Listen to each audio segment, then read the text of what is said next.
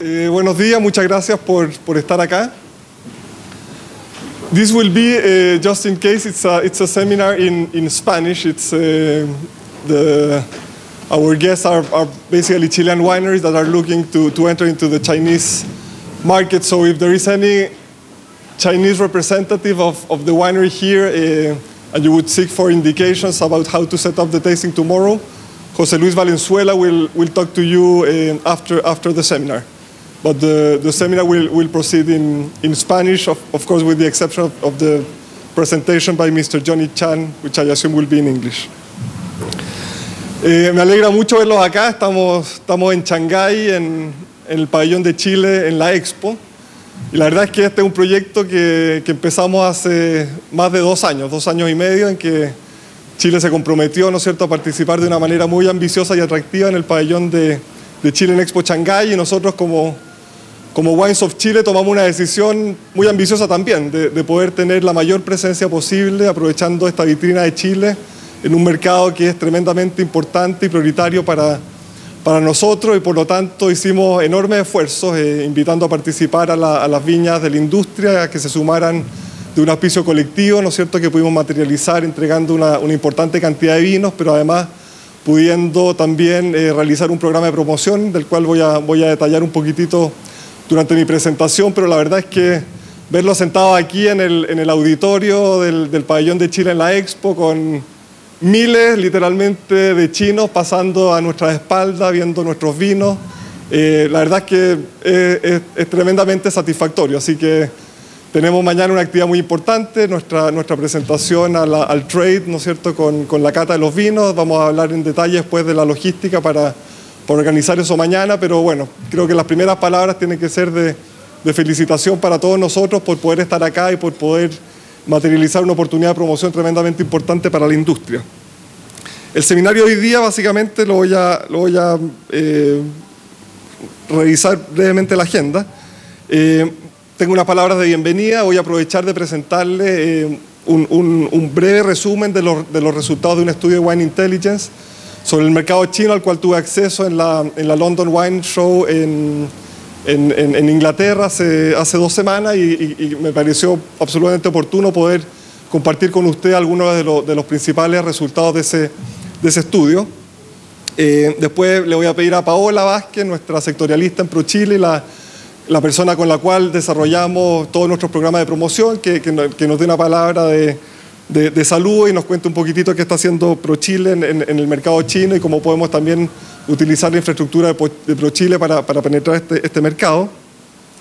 Después vamos a tener una presentación de otro partner eh, importante también en, nuestro esfuerzo de promoción aquí en el mercado chino, en particular en este seminario. Eh, nos hemos aliado con el Banco de Chile, eh, que nos va a hacer una, presentación en detalle de la evolución del mercado del vino en China eh, por parte de Federico eh, Dietrich, él es el representante del Banco de Chile en, en, Beijing. Y después vamos a tener una presentación, creo que va a ser tremendamente interesante, de, de Mr. Johnny Chan.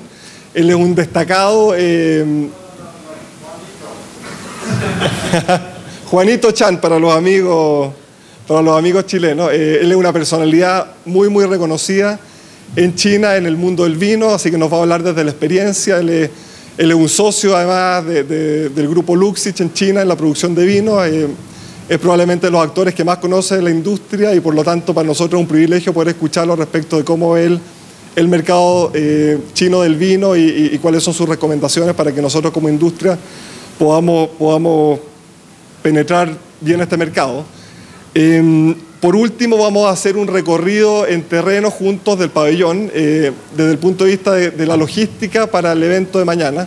José Luis Valenzuela, nuestro gerente de Asia en Wines of Chile, les va a explicar cómo operar mañana el tasting, la ubicación de, sus respectivas mesas, dónde están los vinos, eh, cómo hacer el montaje. Recordemos que mañana el, el pabellón empieza a operar a, a las 9, 10 de la mañana con público, por lo tanto, el montaje es un, es un un, un, un, un, tantito más complicado y por lo tanto va a requerir mucha discreción y que ustedes entiendan muy bien cómo, cómo, cómo operar este, este, este, montaje. Por lo tanto es importante que, que, tengamos claro todos los temas respecto del tasting de, de mañana y después, bueno, quedamos libres para que podamos visitar la Expo, el pabellón de Chile, así que tenemos un, interesante día.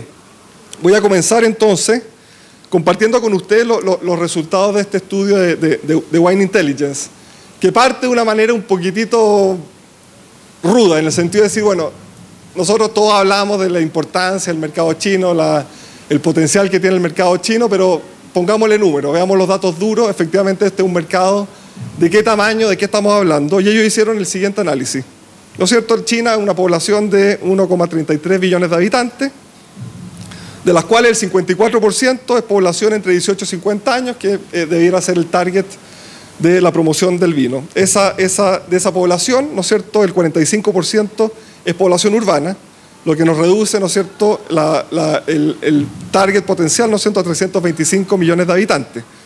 Pero de eso solamente un 7% son una población urbana que está en condiciones hoy día por ingresos de consumir vino. Por lo tanto, de 325 millones pasamos a 22,8 millones de potenciales consumidores de vino, de los cuales solamente un 83% son consumidores, ¿no es cierto?, que toman vino de uva. Por lo tanto, tenemos una población de 325 millones de consumidores urbanos, pero de los cuales toman vino, estamos hablando solamente de 22,8 millones. De esos 22,8 millones, eh, perdón, llegamos a 19 millones, y de esos 19 millones que toman vino, ¿no es cierto? Hay un 76% que toma vino importado, lo que nos reduce, ¿no es cierto?, el mercado actual de consumo de vino en China de 1.300 millones de habitantes a 14,3 millones de habitantes o consumidores actuales hoy día de vino importado en China. Por lo tanto, es una burbuja que se desinfló, es una burbuja que explotó o esta cifra puede ser interpretada de una manera distinta y efectivamente aquí hay un mercado potencial que tenemos que, poder identificar y rescatar. Y ahí, en el fondo, la, la respuesta de, Wine Intelligence es decir, esto es un punto de partida, esto es el desde.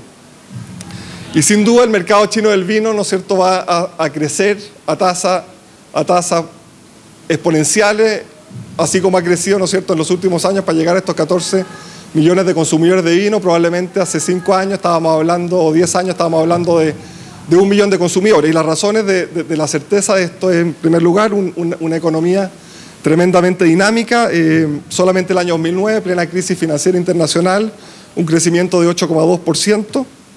Y se espera que esta población de clase media, que ¿no es cierto? nosotros hoy día identificamos en 22 millones de habitantes, al año 2025 llegue a 80 millones de habitantes. Junto con crecer la clase media, también se espera que la población que consume vino sea proporcionalmente mayor y que la población que consume vino importado sea proporcionalmente mayor. Por lo tanto, el, potencial de expansión de este mercado consumidor hoy día es tremendamente eh, atractivo. Ahora, ¿por qué? Porque esta clase media eh, emergente, clase media alta emergente, tiene una, una inclinación natural a medida que va mejorando su calidad de vida y su poder adquisitivo a consumir productos que ellos asocian a un estilo de vida occidental. Y esencialmente porque ellos asocian a los productos occidentales y al estilo de vida occidental eh, dos, dos, motivadores muy importantes. Uno, por ejemplo, ¿no es cierto? Eh, em, el vino es parte de esta cultura, ¿no es cierto?, de esta cultura de sofisticación y esta cultura, y esta cultura occidental. Eh, que el vino chino no provee. Por lo tanto, al, ir desarrollando un, elemento aspiracional importante, ¿no es cierto?, en sus patrones de consumo, el vino importado permite, ¿no es cierto?, expresar ese interés, cosa que el vino, que el vino local no hace.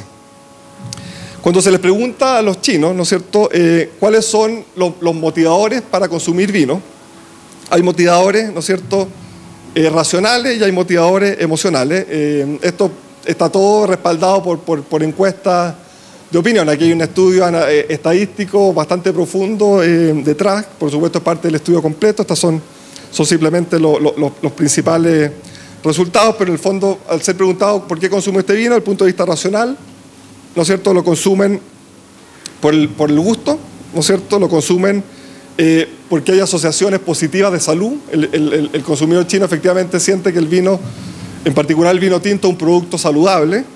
Eh, y además lo consumen porque efectivamente sienten que resalta la comida. aquí no hay un tema todavía de, un concepto internalizado de maridajes, pero sí se dan cuenta que el vino efectivamente es un food enhancer, así lo, así lo, llaman, así lo llaman ellos. Desde el punto de vista emocional, ¿por qué están consumiendo ellos hoy día vino? Primero como una muestra de respeto. Segundo, hay una asociación eh, del vino hacia un producto romántico y sofisticado, por lo tanto hay, hay, hay una asociación muy directa en, en, en esa área. Es un producto que genera atmósfera, es un producto que demuestra sofisticación y es un producto que produce buena suerte. Esas son las razones emocionales por las cuales hoy día el consumidor chino eh, consume vino. Ahora, ¿por qué consume vino importado versus vino local? Y en general, tres, tres factores muy claros. El, el, el, vino importado versus el vino local es percibido como un producto de mejor calidad, es percibido como un producto que comunica mayor respeto hacia tu contraparte y hacia tu cliente en un contexto de negocio, y un producto que es percibido como un producto más sofisticado.